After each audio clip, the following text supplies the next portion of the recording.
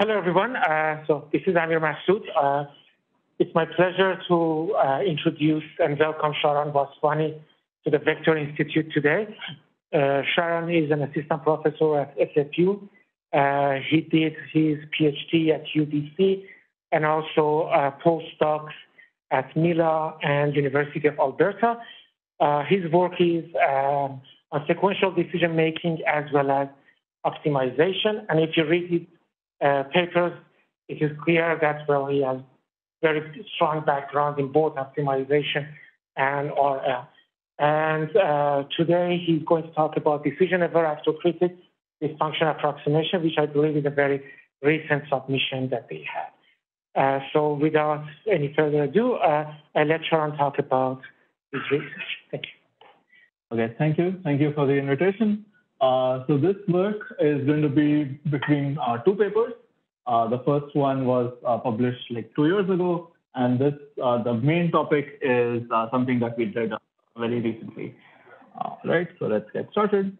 Um, so the motivation for this work started with these observations that policy gradient based on reinforced, these update, the pol each policy update requires recomputing the policy gradient. So every uh, iteration, you interact with the simulator, compute the policy gradient, which involves computing like the Q functions or the advantages, and then you update the policy. So this has theoretical guarantees, even with function approximation, and there are like a bunch of nice papers. Uh, but because this, each update requires a computationally expensive interaction with the environment, it is not very practical. So in practice, people use methods such as TRPO, PPO, and NPO. So all these methods roughly rely on constructing surrogate functions. So they construct these surrogate functions and update the policy to maximize these surrogates. And these support what I'm going to call as off-policy updates, that they can update the policy. So you can update the parameters of the policy without requiring additional environment interaction. Okay? And these methods are, um, are widely used in deep RL, and these are the ones that we want to study. The problem is uh, that these methods have theoretical guarantees mostly in like the tabular setting, and even in some simple scenarios, like this paper shows that PPO can uh, fail to convert. Okay? So no, there is no systematic way to design theoretically principled surrogate functions or a unified way to analyze their properties that scale to function approximation. So that is the main motivation for our talk. And this is going to be the outline. So I'm just going to describe the problem formulation. And the first part of this talk is going to address these uh, surrogate functions, and we're going to see what guarantees we can prove.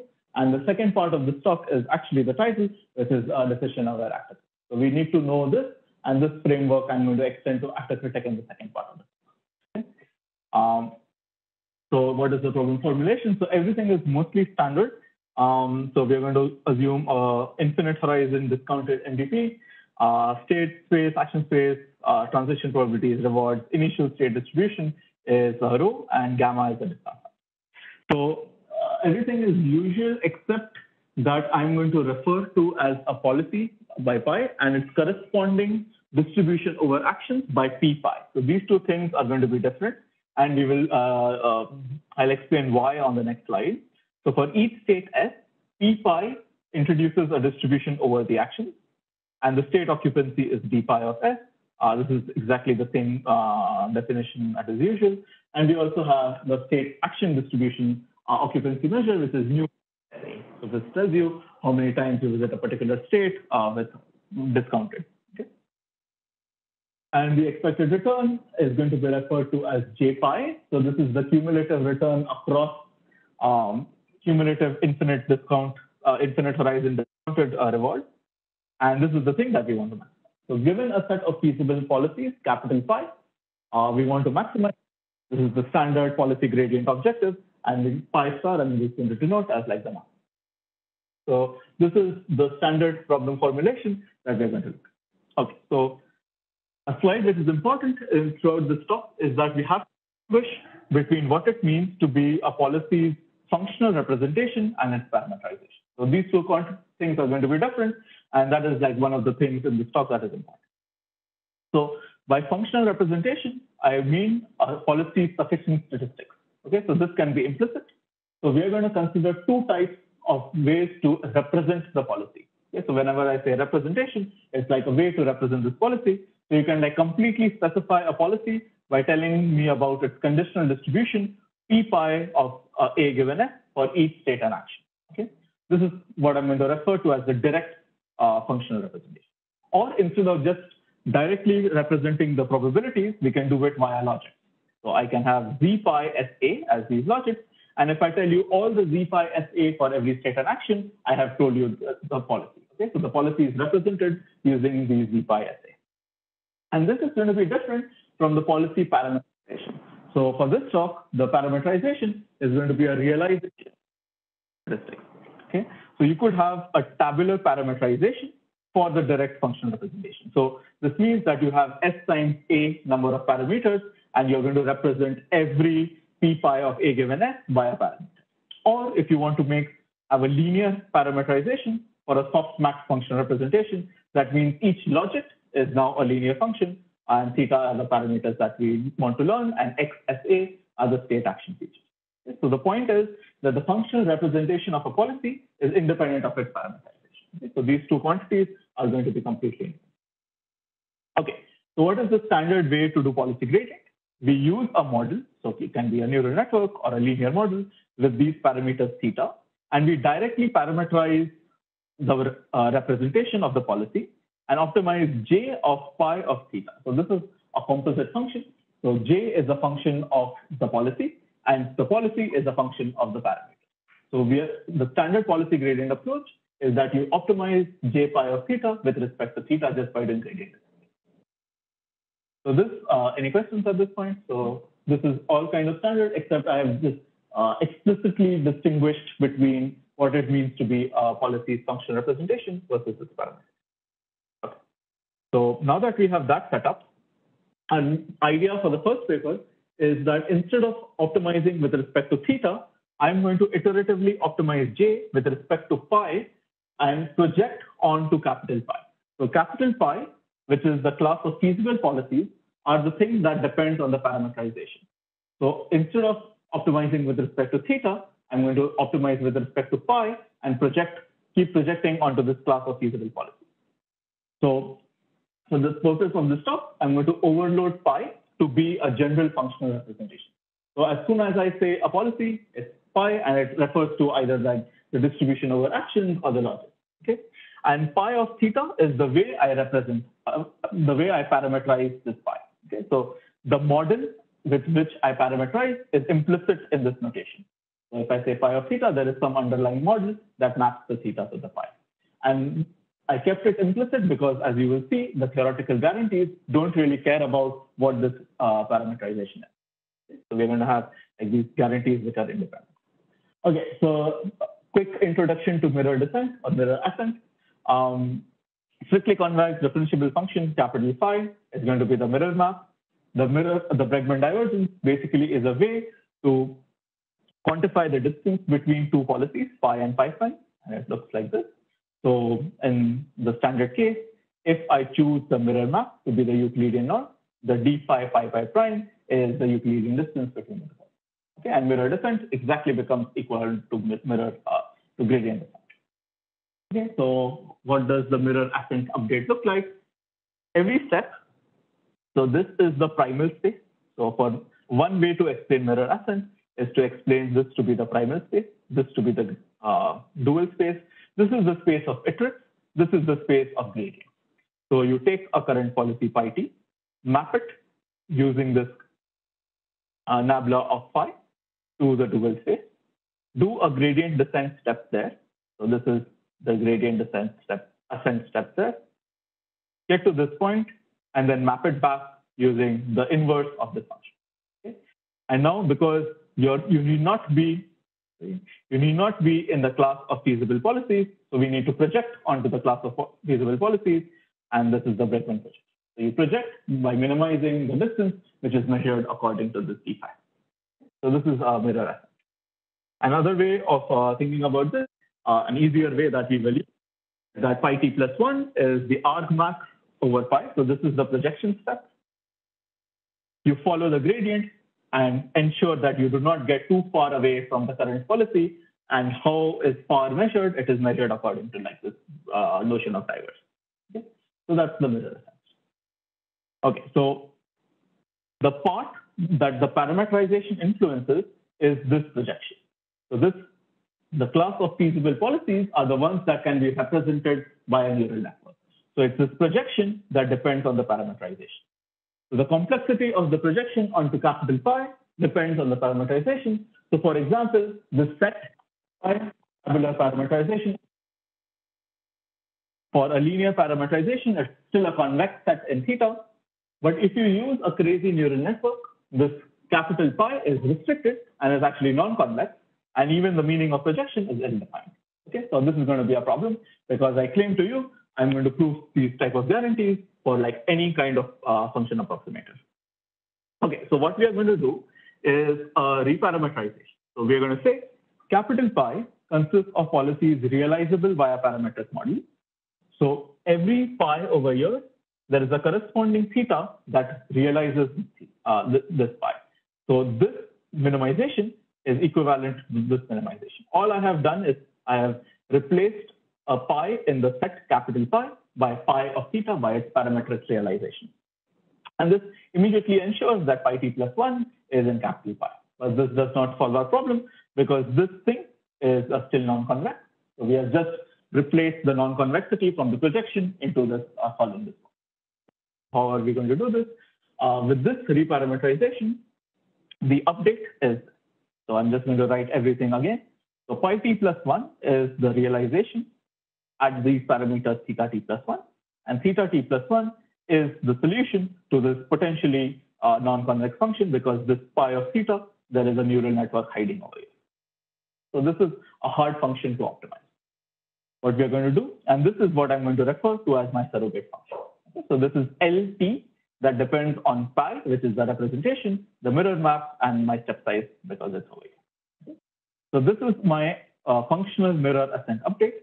And this is non-concave in general. This is hard to maximize, and we are just going to optimize it using uh, a gradient-based okay. uh, is, is, all of this clear at this point? Okay. So this is our algorithm. So compute the gradient at pi t, form the surrogate. So as soon as you have formed the surrogate, optimizing the surrogate does not require updating the gradient. So the gradient here is always at pi t. Okay? So this means that the maximization of the surrogate does not involve interacting with the simulator. So these are what I'm going to call as off-policy accelerators. Okay? So what we have done, we have formed a surrogate, we have used the gradient to form a surrogate, and then I'm going to just keep optimizing the surrogate and updating my work. Okay, so now this is starting to look like a TRPO or a PPO-based method because they have also have a surrogate. But uh, let's see what we can prove. So so let's uh, do one slide on theoretical guarantee. So the surrogate looks like this, and it is some um, kind of non-convex function. Um, but there are two sufficient conditions necessary uh, to ensure that I get monotonic policy improvement. Okay, so the least thing you would want is that every time I run this procedure, my policy at, at least it improves.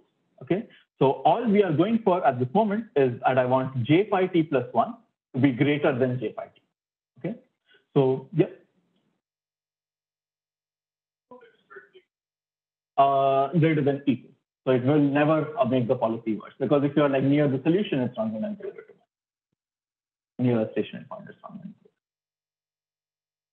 So there are two, two conditions that we need. We need that the inner loop update improves the surrogate value. So we are doing gradient ascent on the surrogate. So we want LT theta t plus 1 to be greater than LT theta t. Okay, so this is just saying gradient ascent actually ascends on the function, so it does its job. And the more important property is that the surrogate is a global lower bound on j pi of theta. So we need for all theta, the surrogate to be below the original function. So if you push the surrogate up, it pushes the original function up, and that is what leads to improve. Okay, so that is the intuition that we are going for. And just to give you one line of inequalities why this is true, so if these two conditions are satisfied, let's start from j pi t plus 1. This by definition is j of pi at the parameter theta t plus 1. This is the model. This is greater than LT theta t plus 1. This is because the surrogate is a lower bound. And now because I improved the surrogate by condition 1, LT theta t plus 1 is greater than equal to LT theta t. LT theta t, if you plug in theta t in this equation, you're going to get back j pi theta t. Okay, because this is going to become zero, this is going to become zero. So the divergence between two same policies is equal to zero. So by definition, LT theta t is equal to j pi theta t, which is equal to j pi t. Okay, so moral of the story, if condition one and two is satisfied, I can get monotonic policy. Okay, how to satisfy these conditions is the next question we're going to answer next. But if this is true, and because j pi is upper bounded by 1 over 1 minus gamma, we are going to get convergence to a stationary. Okay? So we are going to show that if you actually maximize the surrogate, um, and this uh, surrogate is a global lower bound, uh, you can get convergence to a stationary point for any policy parameterization. So I have not even made uh, the policy parameterization explicit. This is just because of like this majorizing property. Okay, so condition one is satisfied if we set the parametric step size to be smaller than the smoothness. Alpha, which is the parametric step size, needs to be set according to the smoothness of the surrogate. Okay, so if alpha is less than equal to 1 over beta, and for any number, so m here is the number of inner loops you do, the number of off policy updates. So for any m greater than equal to 1, and any for any alpha uh, less than equal to 1 over beta, it guarantees one. Okay, so this is like a sufficient condition for guaranteeing that there is ascent on the function that you're optimizing. And condition two is satisfied by setting the functional step size, so this eta, this eta, according to the relative smoothness of j phi with respect to d phi. So mathematically, what it means is any eta that ensures that this function j plus 1 over eta times phi is convex in phi guarantees the second condition. So as soon as you guarantee 1 and 2, we are going to get mon monotonic policy.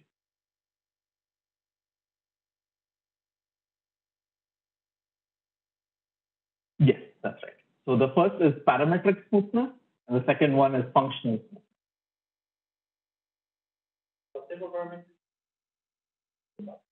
Uh, whatever parameterization, if it is if the surrogate is smooth, then you can directly set the step size like this.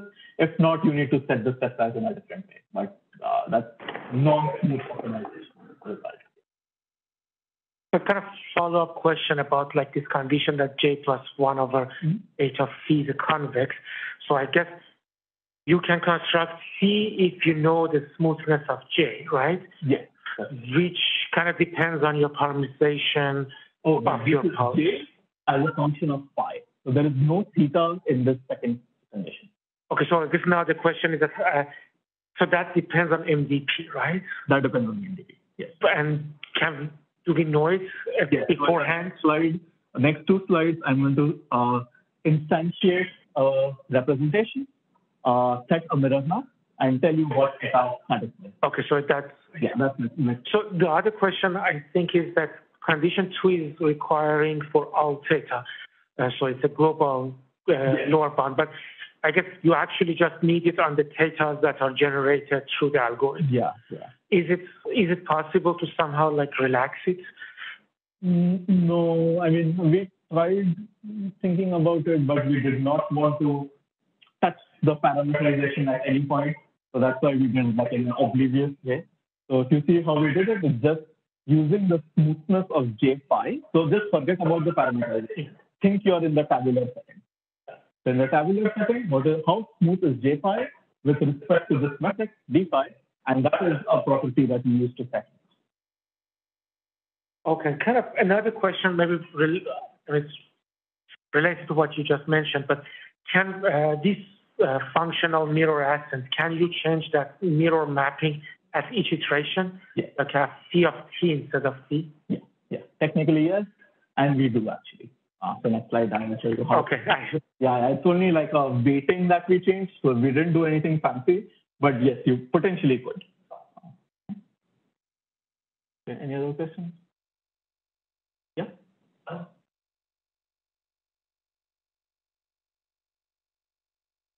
Yeah.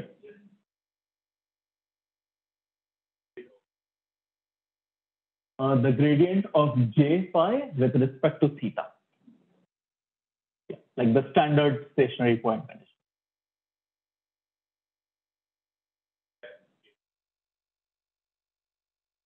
No, lo local. It could be local. Yeah.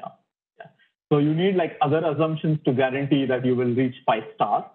Uh, so I, in one of the appendices, we have like some other conditions are satisfied, like this uh, surrogate needs to satisfy some gradient domination condition.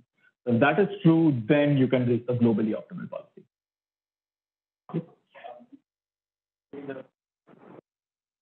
This one? Yeah. So like these.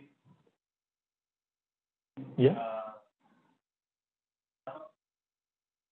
Yes. So this is the functional one, and every functional is uh, parameterized. Like the functional representation has a corresponding parameterization because that's how you realize it. So that's pi. So this is the model at these parameters theta t plus one. so then in next step, we're going to be calculating like the function, Uh, right? Like so. Yes. At this point, we need the functional gradient. Yeah. This is the gradient that is pi. Yeah. And as you will see on the next slide, this is like the Q function for the direct one. Yeah. Okay. One. Okay, so here is an example. Okay, so let's uh, say that the policy is represented by these uh, distributions p pi uh, of uh, a given s, and these are for every state. So in this case, I'm going to choose my mirror map to be of this form. So it's a weighted uh, average according to what is the state occupancy measure of the state. So it's sum over states d pi of s and some mirror map between the distributions for every state. Okay, and because these are distributions, the obvious choice is to use uh, negative entropy mirror map. Okay? So in this case, the functional gradient, like the gradient of j with respect to pi, or in this case p pi, because that's our functional representation, is just d pi of s, q pi of s. And in this case, the surrogate function we can instantiate to be this. So I have kept, so this is my divergence, and this is the functional gradient. Okay? So this is in terms of q pi t of SA, an important sampling ratio minus 1 over eta times some divergence between the distribution between uh, at every state. And because these are distributions, I'm going to choose phi, the mirror map, to be the negative entropy, and this is going to make the distance between the two distributions like the Ki. So I have the, my surrogate is uh, q pi t of SA, and the parameterization is over here. So remember, I am parameterizing the functional representation. In this case, the functional representation is this probability. So the theta is going to show up here. This is theta t, so this is fixed. This is the place where we need interactions with the simulator, and all of these are under mu pi t. So in order to update this with respect to theta, you don't need to interact with the simulator. And that's the off policy part of this. Is this clear? Okay, and like I promised, for any policy parameterization, we can guarantee that j phi of theta is greater than the surrogate. Surrogate is a global lower bound if eta is less than this. So this is a, a property only with respect to the policy, and there is no parameterization. I'm asking, uh, it is that which choice of y the map depends on the MD. Uh, yes. So how, why do, why is it? There, Oh, I mean, it's like you see distribution and you make it uh, a negative entropy. But the part that depends on the MDP is this weighting. It's just, these are like the define other files that are more entity aware. Yes, yes, that's right.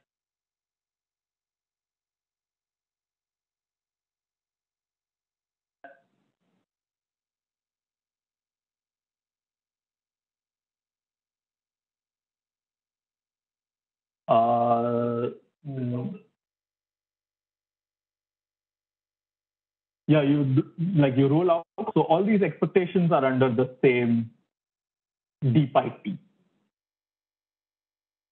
So it's just roll out, take the gradient, standard procedure. So there are two problems with this. One is that it involves importance sampling ratio because you are using data collected by pi t for a different policy. So this is the penalty you have to pay. And the other one is that this KL divergence is reversed. So you're making it mode seeking. So this is going to hinder exploration. So an easy way to optimize this part would be to keep, put all your probability mass on one mode. Okay, and because of that, it's like hinders exploration. So ideally, we want this KL to be reversed. Want the forward KL, and we need a dependence. So we are going to definitely dependence on the importance sampling ratio, but we want it to be born benign. So that is uh, the next slide. Okay, but any questions before this? Yeah.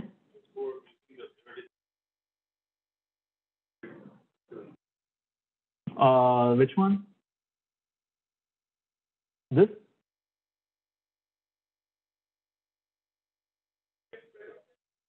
Yeah. Oh, pi, yes. Yeah, yeah. Yes, yes. This is strictly convex. It's like 1 plus pi, like the Hessian. So that's positive.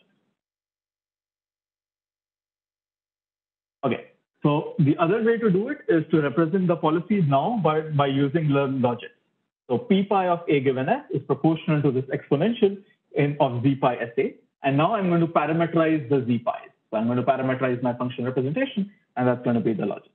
Okay. In this case, again, we need to choose a Bregman divergence, and I'm going to choose it again weighted by d pi of s. In this case, the functional gradient, again, by just the policy gradient theorem for like tabular settings, is d pi of s, a pi of sa, and then this uh, distribution comes up again. To do this, you get this. Okay, so it is uh, looking to set phi z, which is a divergence between is a divergence between these logits. Okay, so these logits are real numbers. So way uh, a good mirror map to use is the log sum x. So I'm going to use phi of z of s is the log sum of the x of these logics. If I use this, this is the surrogate I'm And in this case again, uh, we have a similar property that you can set eta to ensure that the surrogate is a global lower bound. And in this case, there is no dependence on the number of states or actions, it's just less than one minus. Okay, and that ensures that the surrogate is a global lower bound. Okay. Any questions? I have one more slide on this one. Uh, to, yeah. So in the previous case, it should depend on the entity size? Uh, yes, it depends on the number of states because or, or number of actions. Sorry. Yeah. Yeah, because we did the bound in like a lazy way. Uh, I don't think it's like fundamental. Um, okay. So this is uh, where we are at. Let's see what the surrogate looks like. So if you write it in a different way, you, you can write it in this way. Uh, so this is now it involves a log of the importance ratio. So that's the dependence on the importance sampling ratio is more benign. And now we have a forward KL. Okay? So the KL direction, if you notice, has reversed. It's P pi at theta t. So this is the fixed quantity, and this is the quantity that we are offering. Okay? And now it uh, is mode covering because the way to minimize maximize this is to keep probability mass at every mode, else this is going to blow up. Okay? And that's why it encourages exploration. So compared to TRPO. So if you look at TRPO, the surrogate function they use looks like this. So there are two differences. One of them is that instead of the importance sampling ratio, we have the log. And they enforce the constraint between policies that we do not want to move too much in the policy space by a constraint. And we do the same thing via regularization. Okay. The nice part is we know how to set eta, whereas delta for them is a tunable hyperparameter. Okay, and if you run TRPO, it depends on, on quite a lot on the delta. And the other nice part is that we can ensure monotonic policy improvement regardless of the policy parameterization, whereas the original TRPO paper only has guarantees in the tabular. Okay. So this is the second way that we instantiated uh, this framework. Yeah, I have some kind of very comments or question, some, something between.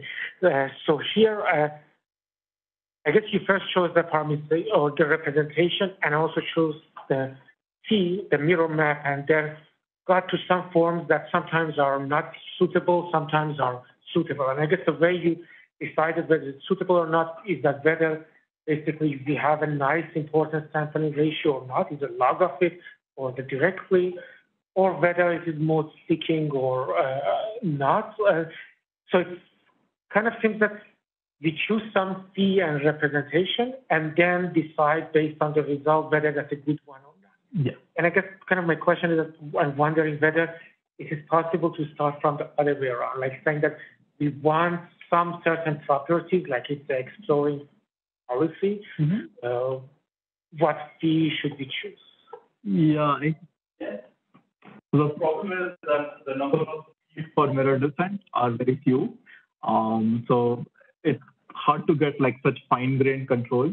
Um, Why is it very few? Is it like, isn't enough to be like strictly convex? yeah, but uh, okay. So one thing that we tried is uh, just the Euclidean norm, and then you don't get like this nice uh, property. Right. Um, so you could choose other strictly convex functions, change like the preconditionals. That will help with this part. But getting the log, and, uh, I think getting the log is a property of like the representation, but the phi is the one that like you can uh, mess around with this. I see. Okay, so C kind of defines the penalty, the, what kind of penalty we get at. Yeah, like how should you measure distance between policies? Okay. and add that as like a regularizer. Um, so I think we tried like the Euclidean one, some preconditional one. Um, we tried a different representation, like using like some linear programming stuff, but that leads to surrogates which are not as nice. So I think in the end we just like stuck to these. Yeah, for the probabilities, the phi is like some form of entropy, Tsallis entropy, negative entropy, some form of entropy. Uh, so again, we didn't see like any much benefit. I'm kind of wondering whether we can have a value of uh, Yes, that would be, yeah, yeah. Some awareness is going to come in the next con- next part. Yeah, Kind of second quick question, like here you showed also improve, uh, house improvement. Can you also show rate conversions? Yeah, so this rate uh, is 1 over t. So you can get order 1 over t convergence, and if you run it for t iterations, you can get order 1 over t convergence to a stationary point, where the gradient, gradient of j with respect to theta is. Uh, Okay. It seems like we had two decisions to make. One was the functional representation and the choice of thought. Yes. I wanted to ask if we actually have two degrees of freedom maybe, or the change in the functional representation can be adjusted in the choice of thought. Oh, I see. Mm, Maybe if you have this presentation with another part, you could ch- change the KL to this. Ah, okay, I see. So actually, that is what we wanted to do. So because one of our representations is a probability, the other is a real number, and we wanted to get a KL from both of them. So if you want to get a KL out from the logit, the only way, I mean, the way we knew how to do it is to use log sum exp. And that is one reason we wanted to use log sum. Um, and later on, you will see that log sum exp and the negative entropy are actually Fenchel conjugates. So that is one way in which this is related. Like you choose the representation, uh, probability reals, and then the corresponding mirror maps are like conjugate. So they are like the primal space and the dual space are just swapped. So there is a connection, but how to uh, choose a better mirror map, we don't know yet. Okay, Let's conclude the first part of the talk. Okay, so we use uh, functional mirror ascent to get this FMA-PG framework, which ensures monotony improvement. You can use this to lift existing tabular results. So if you have a convergence result of, say, convergence to the optimal policy for a tabular set for the tabular setting, you can use FMA-PG to lift it to like the linear function approximation setting. You can get exactly a very similar convergence result, and the proof is changed only by a little bit. This is like if you want, if you care about doing like proof techniques, this is like an easy proof technique to use to like get function approximation guarantee. And then uh, we have like results in the paper. So we tried it on like simple tabular MDPs. They are competitive with TRPO, PPO. The more interesting part was the framework suggested an alternative method called SPPO, which is a form that looks like PPO. And then when we test it, it actually outperforms uh, PPO on like MuJoCo. Uh, so that was like one nice uh, result that came out. Okay. Okay. The one over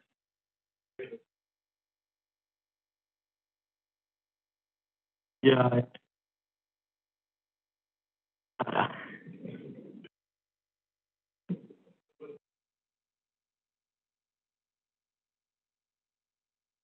So, oh, I see. Uh, so I should say this, the word suggest is important because it does not exactly fit in our framework because we have to clip things. So similar to PPO, we clip the importance something ratio, but the clipping is on the log.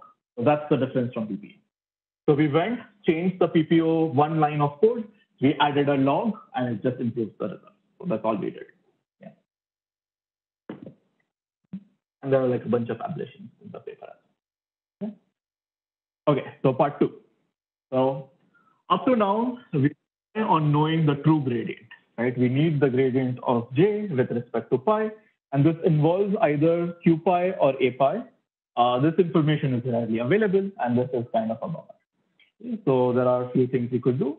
We can estimate using Monte Carlo samples. You can estimate the gradient, like the Q function, using Monte Carlo samples. And, but this has high variance, and that's going to be a problem. The other option is to use a critic. So, uh, gradient, the functional gradient, using a value-based method, uh, results in a low variance but potentially biased estimate. And in this case, the problem is the critic is usually trained by minimizing like some sort of TD error. Okay, so you're minimizing an error on the value estimation, and it's not clear how this relates to actually achieving a good policy. Okay, so this is the decision-aware part of this talk. Okay, so what we would want is we have a lack of a theoretically principled objective to jointly train the actor and the critic, and this is what we want. We want an objective just following what I showed thus far to get a joint objective so that I can say uh, I'm going to optimize the critic and the actor, and they're jointly going to J5. Okay, so that is uh, what we are going to try and do now. Is, is the motivation clear? Um, yeah, I think this is a value-aware crowd, so uh, everyone knows this motivation. So if you have like a restricted critic, you want to place the function capacity on the things that actually matter towards achieving a good policy. So we don't want to really care about matching, minimizing the value estimation error uniformly everywhere. Okay, so this is the second part, um, decision aware accuracy. Okay, so the idea is that we had this lower bound on J pi that I used um, as the surrogate, and we want to generalize this to handle inexact gradient. Okay? So the thing we prove in the paper is that if you have a gradient estimator, okay, so G hat T is an estimator of the functional gradient. And it could be any gradient estimator. So we are not putting any constraints on that yet. Um, and for some trade-off parameters P, such that again, J plus 1 over eta phi is convex in phi. This is exactly the same uh, condition from before. If phi star is the Fenchel conjugate of phi, then J phi minus J phi t can be bounded in terms of this green term and the blue term. So if we look closely at the green term, this is like a surrogate function that we maximized previously. But instead of having the true functional gradient here, I have g hat t. So I have my estimator. Okay. And the penalty to swap out the true functional gradient instead of an estimator g hat t is this blue term. Okay. So the blue term is the price of misestimation of this functional gradient. So if this g hat t is equal to the functional gradient, this term is going to disappear, and we are back in the setting of the first part of the talk. Okay? And the other important thing is that this error is measured in this divergence induced by phi star. So phi star is the functional uh, is the Fenchel conjugate, and this is what um, you should measure the error. Okay? So two things. The green part is the actor part, so it's the surrogate function that we were optimizing. It's very similar to that. And the blue part, basically because it is an error in the gradient, it is an error in the Q function or the advantage. So that this is going to serve as a critic object. So that is uh, what is going to happen. So to maximize policy improvement, so if I want j phi minus j phi t to be large and positive, I want to maximize the right-hand side. So in order to maximize the right-hand side, an algorithm should learn a g hat t, which minimizes the blue term, and compute a policy that maximizes the green. Okay? And this is exactly the actor and the critic objective. So the actor objective is to maximize this green term, and the critic objective is to minimize the blue term. So we now have a joint objective in terms of both the actor and the critic, uh, but the only thing we did, we just extended the lower bound that from the first part of it. The other thing I should say is the C is a hyperparameter that basically relates how much you can move as an actor compared to how much critic error there is. So if there is no critic error, so in the sense that if g hat t is a perfect estimator, then the blue term is zero. So I can set C to be infinity. If I set C equal to infinity, I get exactly the update I had in the previous one. If this critic error is very large, in order to account for it, so just think of this, this blue term scales as like order C. So if the critic error is large, I want C to be small. If I set C to be small, I'm increasing the regularization. That means I'm not moving too much. So the algorithm says if the critic error is very large, you should not move too much. If it is small, you can take big steps. So that's how it's uh, constraining the movement of the act. Any questions? Yes. Yes. Yes.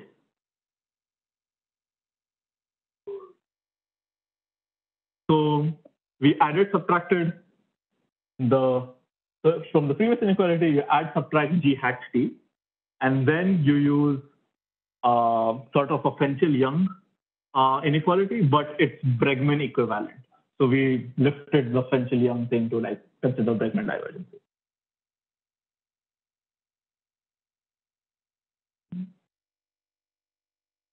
Other question? Yeah. Since this is inequality, how tight it is, I guess it depends on. Yeah. So, so let's see. Or maybe when is it tight? When is it? When does it actually become equality? So if pi is equal to pi t, For example, to pi. Okay. then the green term becomes zero, and then the blue term becomes zero if you have a perfect gradient. Okay? And then the left hand side also. becomes. Okay, that's the place side.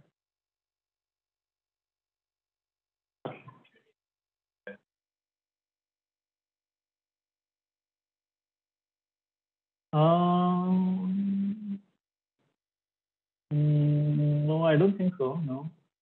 No. I mean, we do require gradient domination in a different place, though. Uh, yeah, but uh, not over here. Okay, so now we can just turn this into an actor critic algorithm. What is the algorithm? So let me go over the input. So you choose the function representation, you choose the mirror map, how many iterations do you want to run this for, and like these inner loops. So what, what is the algorithm? You estimate the gradient of j with respect to pi. So using sampling or TD, uh, some way to estimate it, form this capital LT of omega. So omega are the critic parameters now, um, and minimize this function as a function of omega. So this critic update are the minimization of this capital LT of omega. So you're trying to minimize the blue term. And then once you have g hat t, you put this, form the surrogate, the green term, which is L, small lt, and then do exactly the same thing that we were doing in the first part.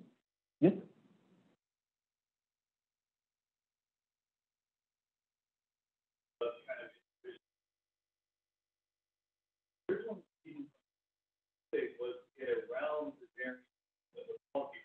Yep.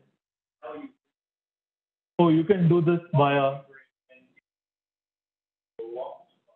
Oh, you can do this by TD.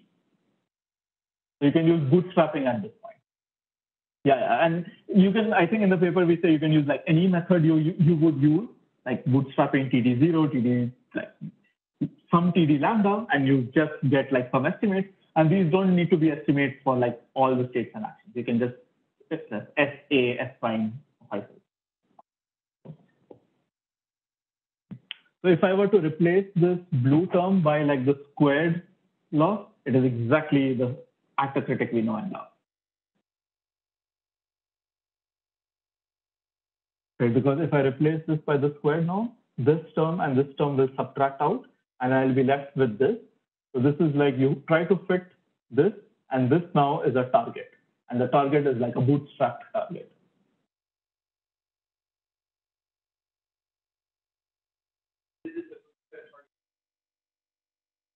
Yeah, so the gradient is the Q function. Yeah, I'm going to, I should have put this slide later, but yeah. I'm going to instantiate it on the next slide. Because the gradient was regressive time. Yes, exactly. Exactly. Other question?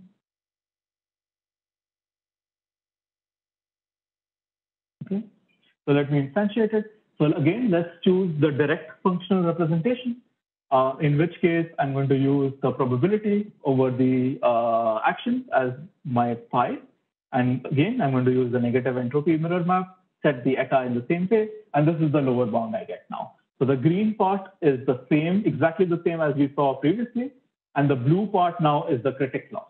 Okay, so just by instantiating this, now I have a critic loss, and now this is the thing I was saying, this is the dependence on the q minus q hat. Okay, um, and this q hat, uh, this q you can do bootstrap. Um, few things to note, the lower bound holds for any policy or critic parameterization. So wherever you see a p pi, you can make it p pi as a function of theta. So that's the model for the p pi. And wherever you, you see a q hat, this can be some model of q pi that depends on omega. So omega are the critic parameters. The model is implicit in this notation. For the lower bound holds because the lower bound is at like the functional level.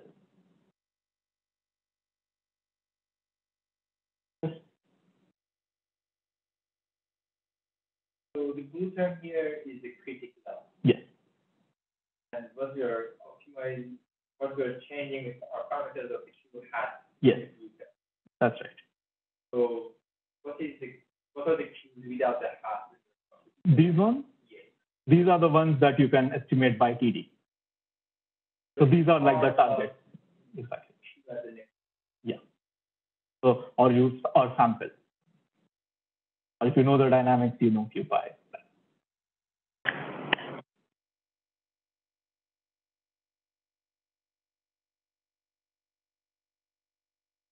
You have a question?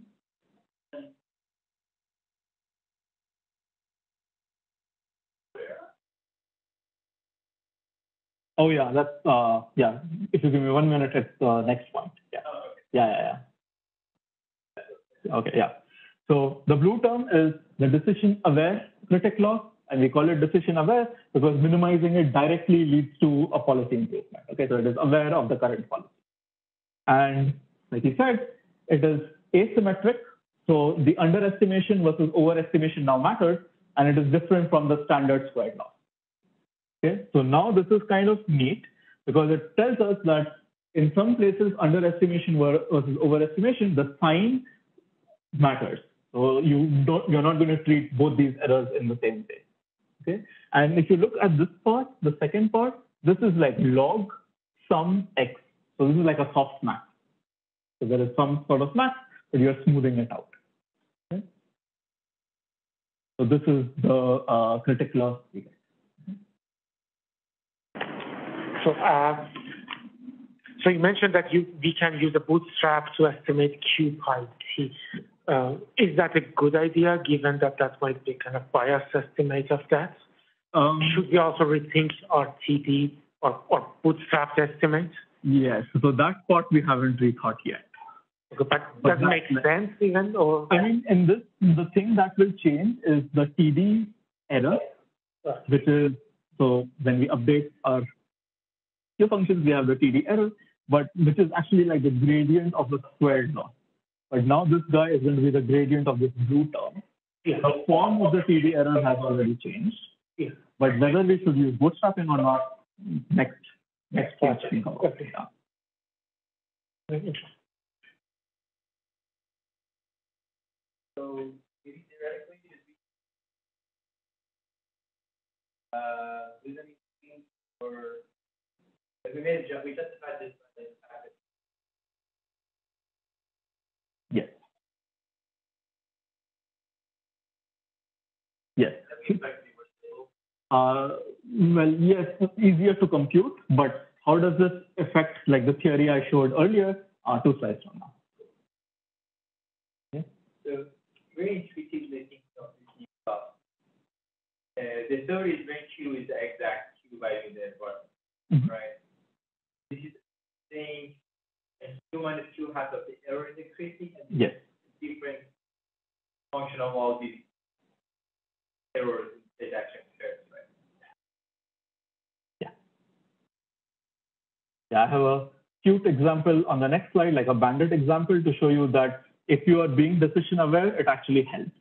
Um, so let me go to that.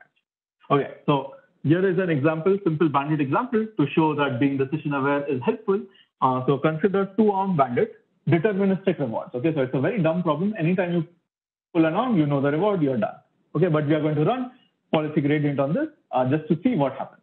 Okay, um, and we are going to use a linear parameterization for the critic. So arm one is optimal, and instead of knowing the q, I'm going to estimate it by a linear parameterization. So it's xi times omega, everything is a scalar. Okay, so x1 is like the feature of arm one, x2 is the feature of arm two, and omega is the parameter I want to. Okay, so I want to estimate uh, the q q hat, uh, meaning I want to find learn these omegas such that I will lead, result in convergence to like the optimal solution, optimal policy. And the optimal policy is just full arm one. Okay, so it's a very simple problem. Um, and no variance because everything is deterministic. Okay, so if PT is the probability of pulling the arm, optimal arm at iteration T, we are going, to consider two ways to minimize, uh, to uh, estimate omega. One is minimize the TD, which is the squared, squared loss. Okay, so this is the squared loss between Q hat and Q1 and Q2 hat minus Q2 and weighed by the respective. Okay? The other way is to use a decision aware loss. So this thing is exactly the blue thing I showed you on the previous slide, but now for this bandit example. Okay, so all the states go away, it's only one state. So in and so this is the critic. The actor, I'm going to choose a tabular parameter. I'm going to make keep it like very simple. Uh, there is one parameter, and that's the probability of pulling the optimal. And in this case, these updates look like exponential weights because we are like in this natural policy gradient type update. Um, and that's the way of updating the actor.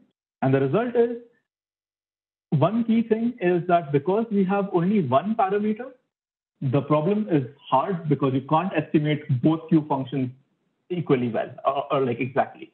So it, you need to be careful where you place like this one parameter, what you learn. Okay? And the result we show is that for any step size, if I initialize the initial probability less than two fifths, if you minimize the standard squared loss, it will converge to the suboptimal action, even for like this two bandit example. But if you minimize the decision aware critic loss, for any C, for any P naught greater than zero, it will converge to the optimal. Okay? So this is the place where you have to be careful with how you spend your function capacity. And we have like a similar example for the softmax case. So I'm not going to go through the softmax. Any questions? So almost there. Okay, so let's, uh, what can we prove? Ah, yes. That.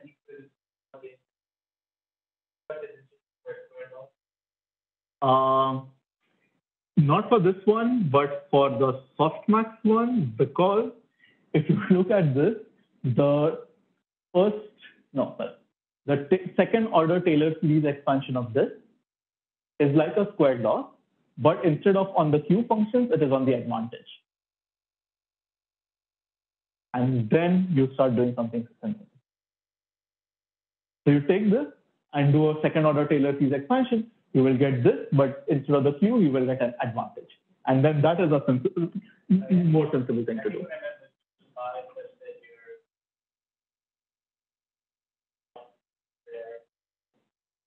Uh, so, okay, another thing that will help is when this is minimized, this is minimized. Like when this is zero, this is zero. But when this is zero, this is not. So uh, if you say, can we construct something where this works and this doesn't, the answer is no. Right, right, right. I, I'm thinking you should. Uh, from Oh, I see. Question? Yes, that's right. Yes. So I think the thing that I want to basically, I think I should conclude is that the critic loss depends on the actor objective, right? So if you use squared in the actor objective, you can use a squared in the critic objective, and the same guarantee will work. But if you mess with the actor objective, you have to mess with your critic. You can't use squared for everything. Yeah.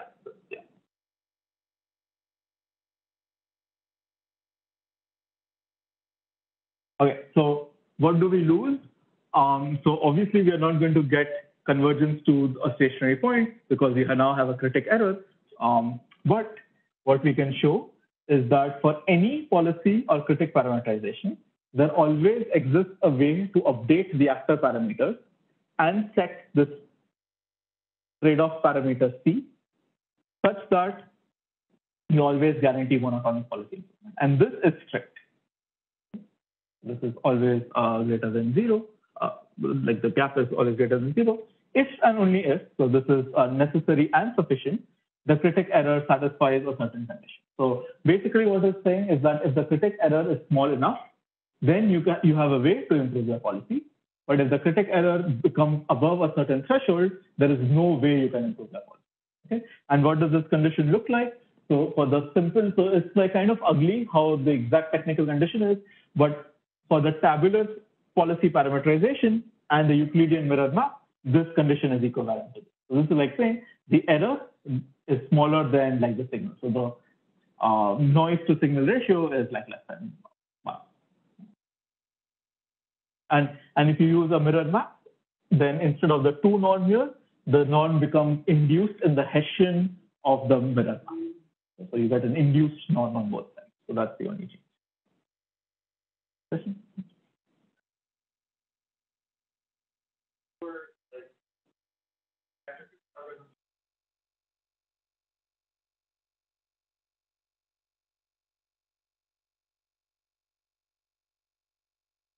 Don't know yet. No, don't know yet. But yes, that was one of the things we were thinking of. Yeah. Okay, and final result. Does this converge? Like this whole thing converge? It's easy to show. This is making the connection to mirror descent. That for any critic error, if you have some sort of gradient domination for the surrogate loss, the actor algorithm will converge to a stationary point the neighborhood of a stationary point at an order 1 over t rate. And the neighborhood depends on how much error you have and how many updates you're making. If you make many, many updates, the neighborhood shrinks. If the critic error becomes zero, then you get convergence to the stationary point, and that's the previous result. Like kind of backward compatible. So if the critic error is small enough, you can get convergence to a stationary point if the, for any critic error, at least you can be in the neighborhood of a stationary point. And the neighborhood, like if you look at these policy gradient papers, the neighborhood depends on the infinity norm um, between q minus q hat in the infinity norm. So the critic error in like this infinity norm, that's the size of the neighborhood. And that could be like potentially very large. But for us, the neighborhood depends on like the critic error I showed you. So it can be like zero when the infinity norm is not zero. So it's like slightly tighter in that sense. Okay, so so uh, conclusion, we generalize this FMA-PG thing to handle actor critic. And uh, we have like some some experiments, which I can show you if you're interested, uh, with linear parameterization that demonstrate being decision aware is kind of important when the critic is not as expressive. Because if you use like a very large model for the critic, it fits everything, and then it doesn't matter what loss you use. Um, we want to prove convergence rates to the neighborhood of the optimal policy. So this will involve looking at these uh, tabular papers, uh, tabular setting papers, and trying to modify them so that we can get convergence for our actor critic method. and we have no deep RL experiments yet. So that's a summer project for us uh, because we want to see if it actually like really works. Um, okay, that's my talk.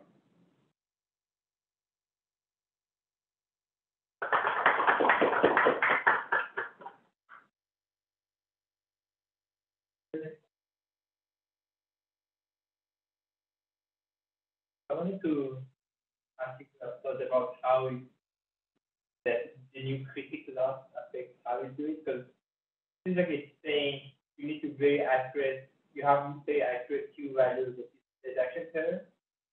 If you want to do it with bootstrapping, probably need to be accurate on next stage of that state-action pair. So yeah, we haven't. So if you saw results, it's like this is the critical loss how you minimize it, we don't care about. But yeah, that's the next step because that's going to become important. Yeah, that's right. Um, uh, currently doing it.